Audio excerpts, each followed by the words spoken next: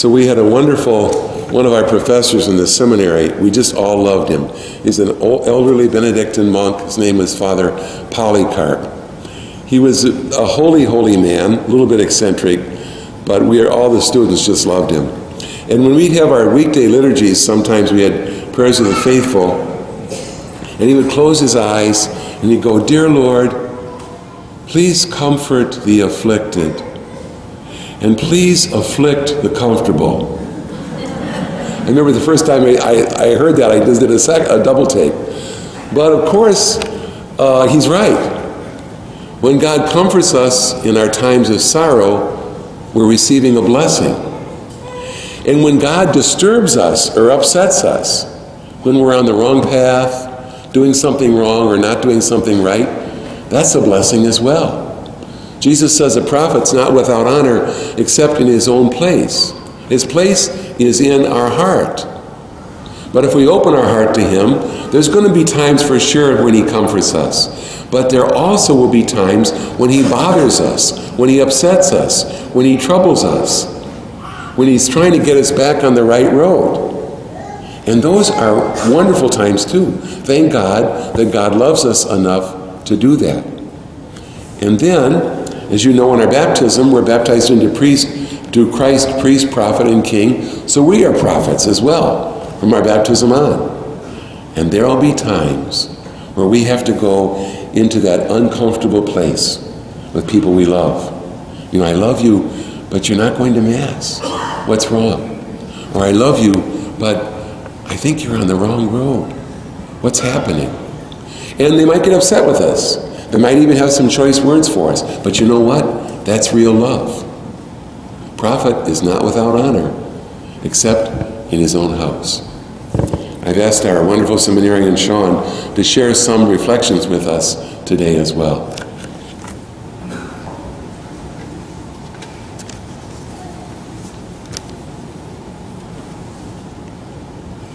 I have a friend by the name of Father David Ryder he was one of the two tap dancing priests that went viral on YouTube about two, a year ago. So if you've seen that, if you haven't, you should go on YouTube and look it up, Tap Dancing Priests.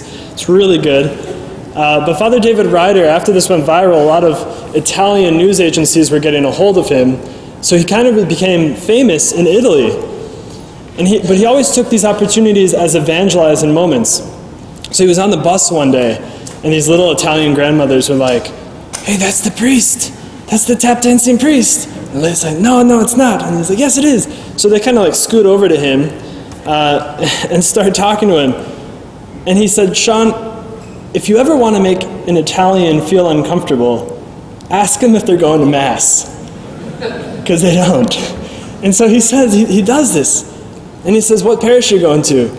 Oh, Father, parish. Well, I go to church sometimes. Oh, well, what's stopping you? Oh, well, there's a lot of things going on. I'm busy. I got a lot of things, you know, Father. It's, you know. He's like, well, are you Catholic? Oh, am I Catholic? I'm Italian. Of course I'm Catholic. We're born Catholic. Which is contrary, or uh, I guess you could juxtapose it to the Polish, who they're Catholic because they've suffered and the suffering came upon them, and they chose Catholicism. They chose Jesus Christ. So you see almost a hardness of hearts among the Italians. Why? Because they're so familiar. You know about Jesus? Oh, of course I know about Jesus. I know about your church. I know about what your church believes. I know what the Catholic Church teaches. But do you, do you know Jesus? I know about Jesus. I know about Jesus. But I want to ask them do you know Jesus? Just because it's in your blood doesn't mean that you know who He is, or what He wants to do with you, or how He wants to move you, or what He wants to do inside of you. And this is, the, this is really what Jesus is giving to us in the gospel today. He comes to his native place and they push him out. They say, We know who you are. We know what you're about. You're Mary's son. You're a carpenter. You're not the Messiah because their idea of Messiah was supposed to be a government king or a political leader or an army guy. You're not the Messiah. You're not going to save Israel. I know who you are. Their hearts were hardened because of a familiarity. And so, when do we push Christ out of our lives? Just as they pushed him out of Israel, when do we push him out of our hearts? Why are our hearts hardened? It happens to all of us. I was just talking to Monsignor yesterday about an experience I had over the weekend, and I said, Monsignor, I, I'm kind of afraid to, to bring this to the Lord because I, I don't want to go there. I have to be vulnerable. I have to open my heart to Jesus and let Him into a place that I I'd like to put a wall there. And that's the place Monsignor said we have to pray from. That we bring our pain and our suffering, the things that we don't want, we have to bring that to the Lord and expose it. Right? And so these Italians often say, I know about Jesus. Want to say, Do you know Jesus? They say, You can teach me all about you, Jesus, but I'm not going to learn anything new. And I say, I don't want to teach you. I want to bring you to an experience of Jesus Christ. I want to bring you someplace you've never been. That no amount of knowledge can learn in your mind what Jesus Christ wants to do with you, in you, for you. He wants to transform you. I don't want to just teach you about Jesus, I want you to know Jesus. Right? You can go to Six Flags in America and you can be like, this is going to be great. We're going to have a great day. We're going to have a fun time. We're going to have we're going to wake up early. We're going to have a big breakfast. And you go to the park early and you're the first ones in line for all the rides. It's a wonderful day. But if you wake up that day and you say, "Oh man, I got to pay a lot of money today." Oh man, I gotta wake up early, I gotta feed my kids, they're gonna wanna get all these different things at, the, at Six Flags, you're gonna have a horrible time. What is your mentality? Are you open to letting Jesus Christ know you and you know him? Or are you closing your mind to him, closing your heart to him? So, what is it that prevents us from opening our heart to Christ? What is it?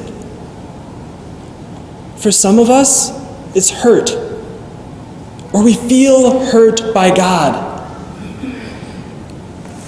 I made a prayer when I was seven and God didn't answer it. So why should I go to Him now? My parents fought. I prayed that they would stop and they didn't.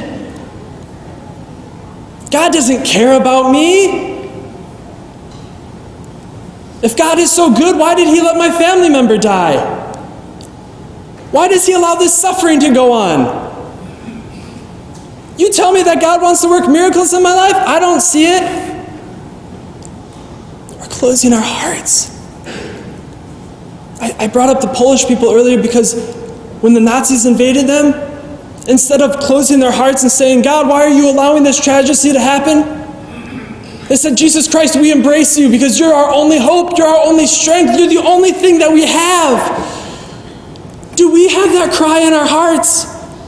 Do we come to Mass just to be fulfill our Sunday obligation because our parents did it, because our grandparents did it, because it's a family tradition? Or do we come to Mass to say, Jesus Christ, you are my only hope? The suffering in my life, there's nothing else that can take the place of consolation than you.